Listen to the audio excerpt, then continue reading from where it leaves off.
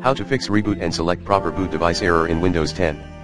Here are some tips that would help fix reboot and select proper boot device error in Windows 10. 1. Check the connections between your hard drive, or SSD, and your motherboard.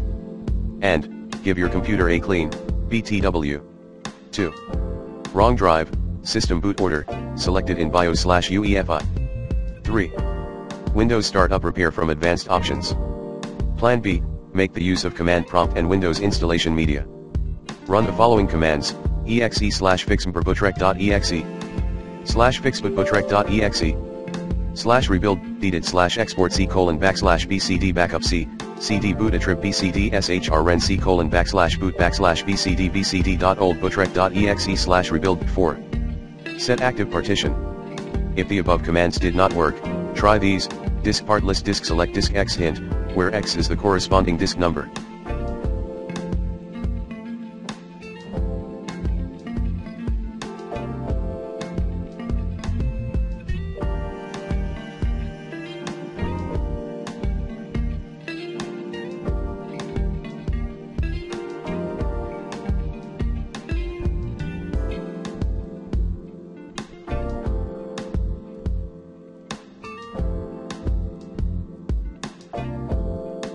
List partition select partition 1, the system partition where you got Windows installed.